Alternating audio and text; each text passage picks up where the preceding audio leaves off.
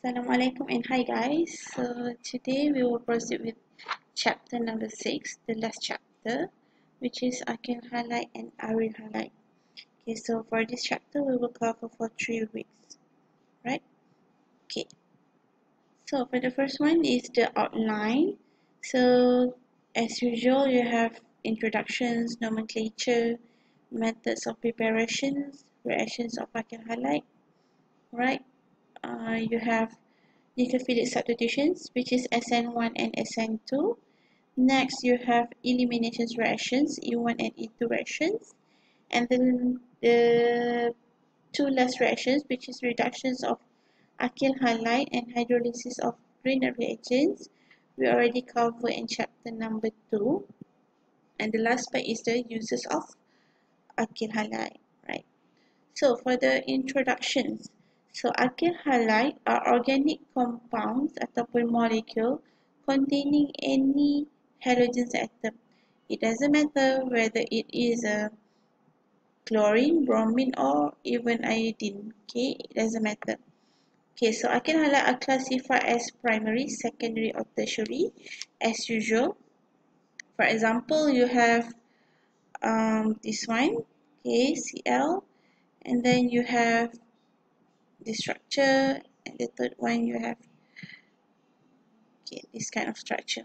So how you want to differentiate with whether it is a primary, secondary or tertiary alkyl halide. Okay, the first one you look at at the uh, carbon attached to your halide group. Okay, so this is your halide group.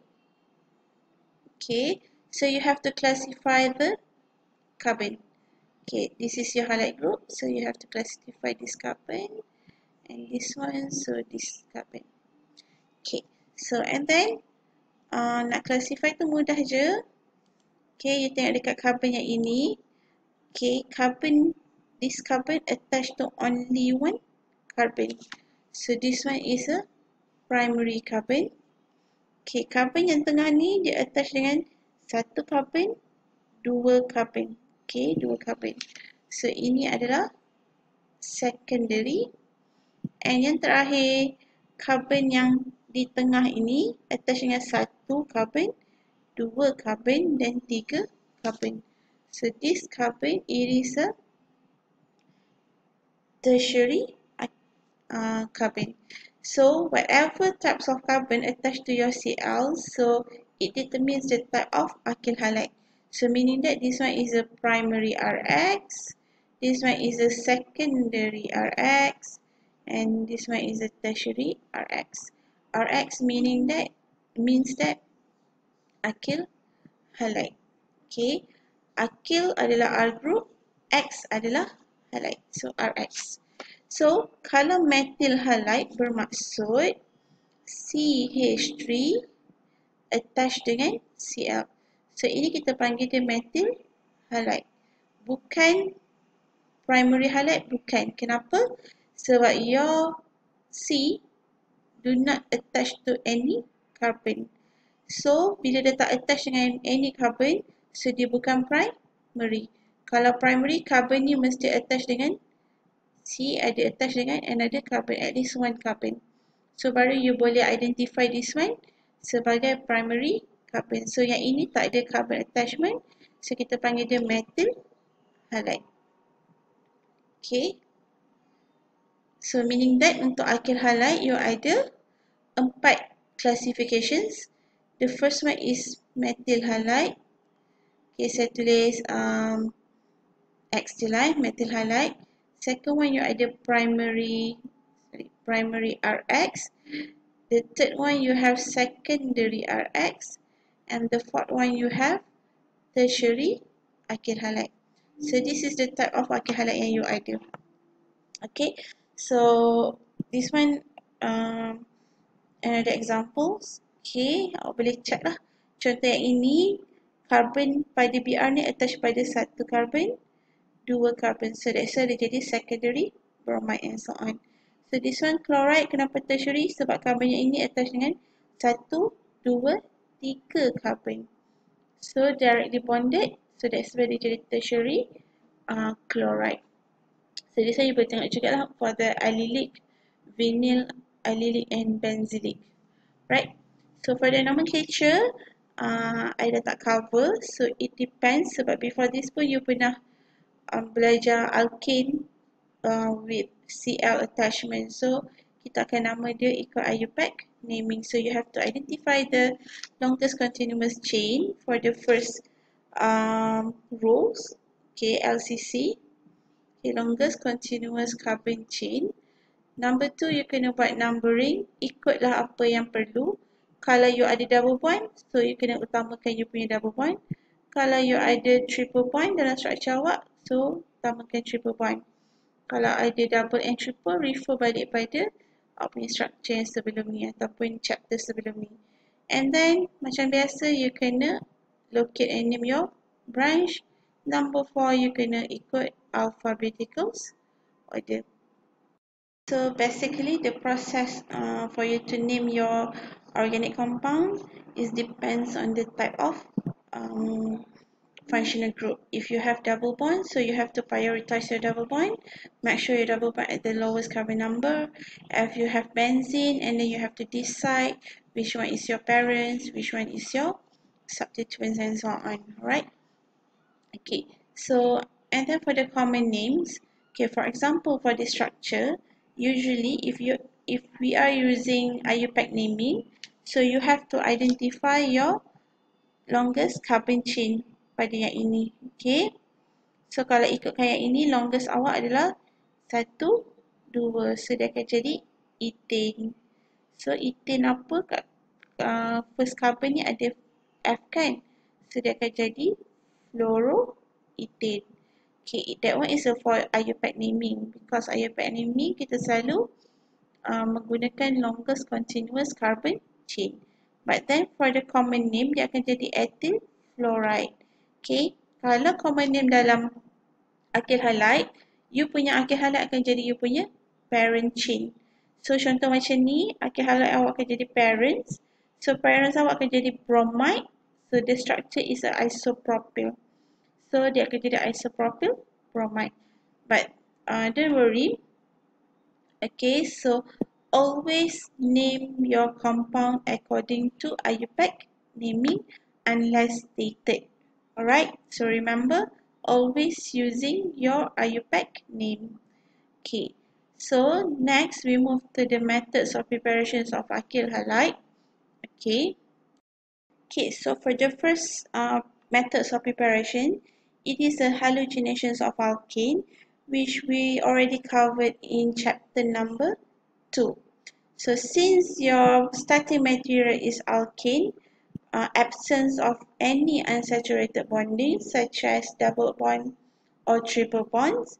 So if you want to prepare an alkyl halide, so you will need your alkyl halide and UV as your reagents. Okay, so you can refer to your previous video in chapter number 2. Okay, so this one is for hydrohalogenations of alkene. So meaning that your starting material is alkene K plus with HX. Kenapa HX? Because hydrohalogenations. Hydro mean hydrogens. Halogenation means alkyl. Sorry, uh, halide group. So meaning that kita akan gunakan H dan X. So this one depends. Somehow you perlu menggunakan Markovnikov rules. Somehow you tak perlu gunakan Markovnikov rules. Okay. So I give you some examples. Okay. So for example, okay, I give you cyclo uh, pentane. Okay, pentane, sorry. So for this one, if you want to add with HBr, and I give you another examples. Okay, cyclopentane, but with one um, methyl group. So this one is methyl cyclopentane. This one is cyclopentane only.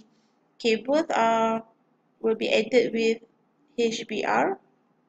Okay, so for this one, okay, the first one, okay, uh, when you want to um, predict the product of additions, the first thing first, you have to locate your double bond. So your double bond is located here.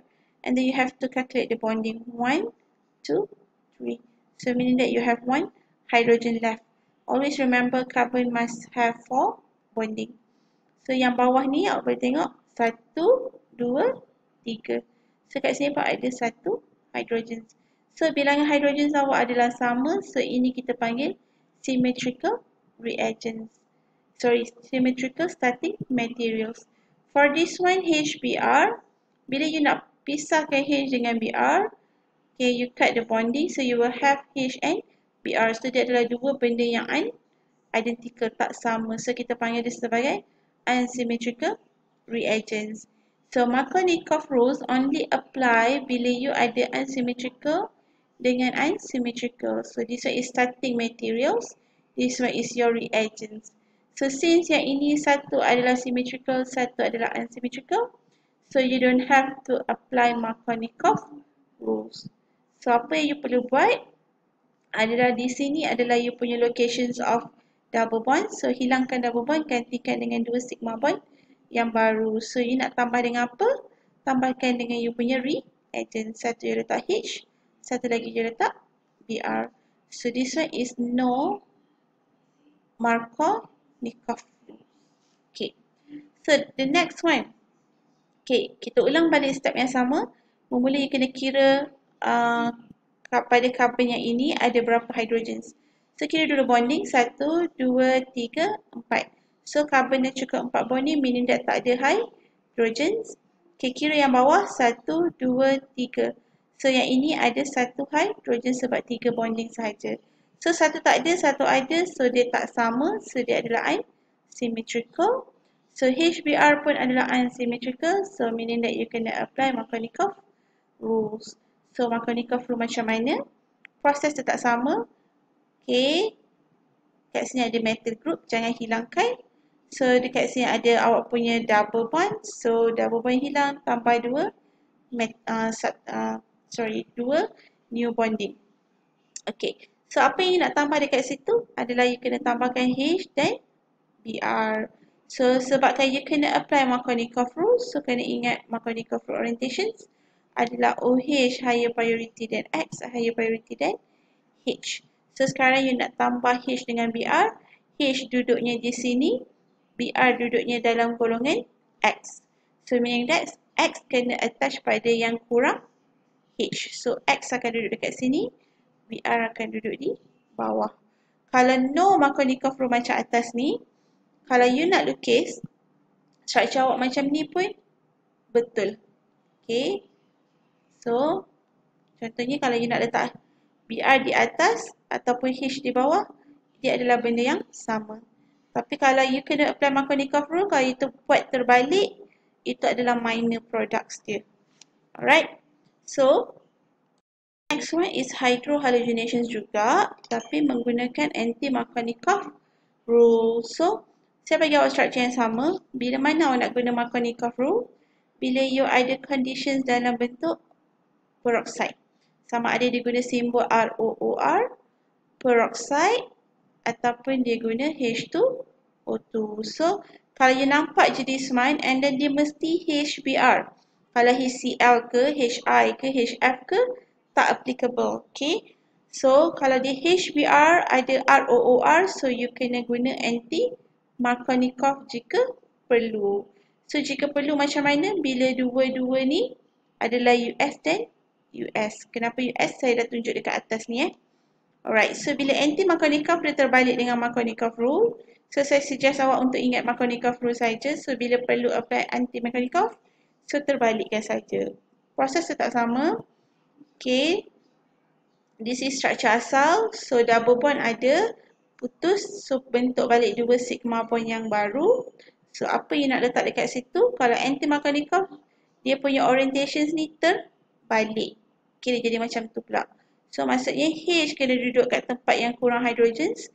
BR kena duduk kat tempat yang lebih banyak hydrogens. So this one only untuk anti-Markovnikov.